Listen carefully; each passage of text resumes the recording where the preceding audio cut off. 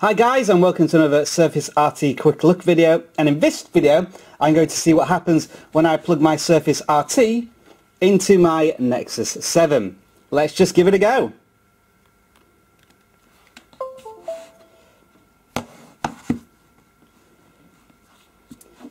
So the device has been plugged in and what immediately happens is that the Nexus 7 uh, comes up on the Surface RT and I can basically browse through the files and folders as if it was a hard drive.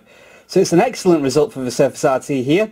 Doesn't have any problems uh, detecting the uh, device as a tablet or in this case it's acting as a USB hard drive and then I could drag folders in and copy folders and do all the usual stuff. So this is what I expected to happen when I plugged in my printer previously and it didn't work and I'm still um, defending the Surface RT a little bit in that respect and saying that I've just got a dodgy printer.